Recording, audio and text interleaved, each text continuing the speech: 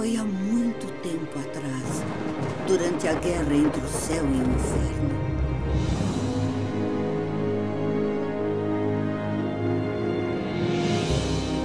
Naqueles dias, anjos e demônios iluminavam as nuvens com suas batalhas ferozes.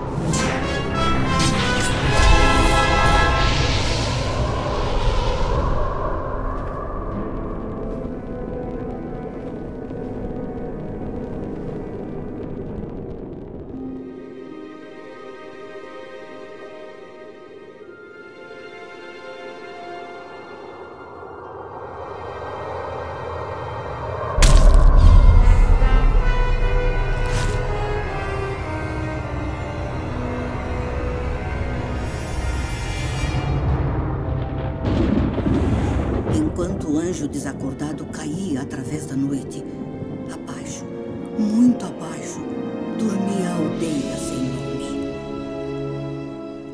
Uns poucos ainda despertos cuidavam de seus afazeres e sonhavam seus sonhos. Aquela noite era apenas mais uma noite calma de verão. Mas em instantes tudo mudaria.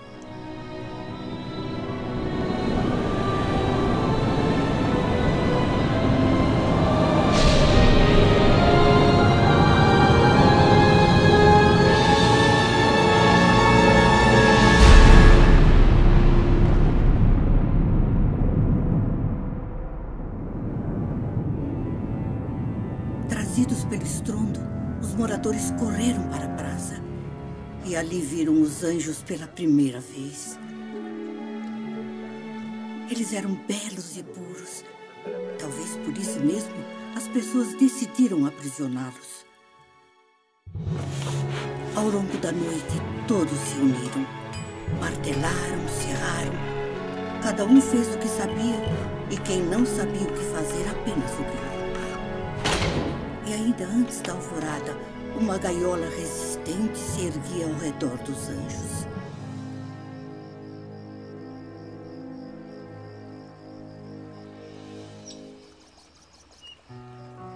Nos dias que se seguiram, as pessoas se amontoaram para vê-los em sua plenitude, ainda que no cativeiro.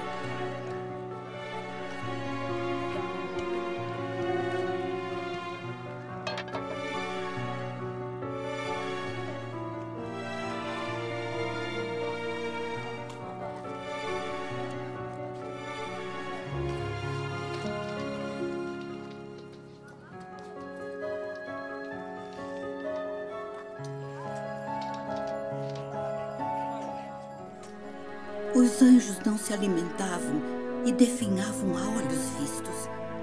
Ninguém sabia o que fazer e, portanto, nada fizeram.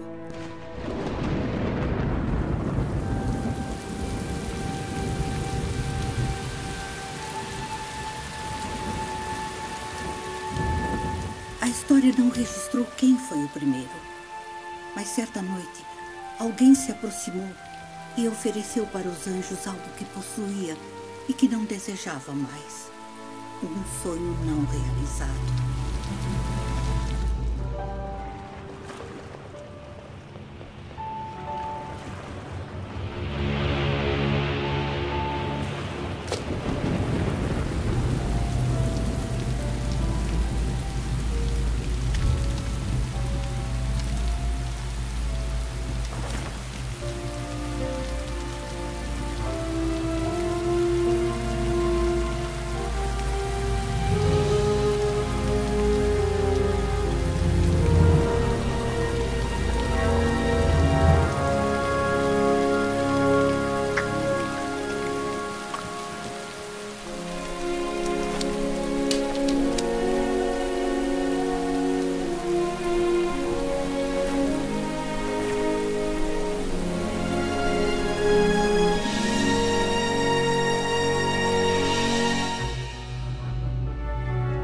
E a palavra se espalhou, e em pouquíssimo tempo muitos procuraram os anjos.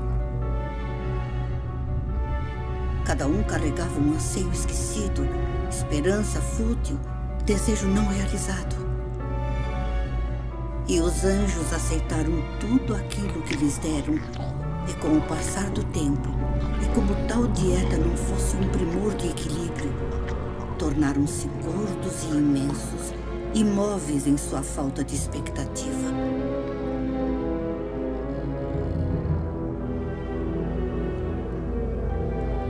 semanas viraram meses e os meses viraram anos. Os anjos no meio da praça permaneceram até se tornarem uma lembrança. Todos temos pesos dentro de nós. Às vezes fazemos algo ruim para alguém. Às vezes fazemos algo que é bom e poderia ter sido diferente.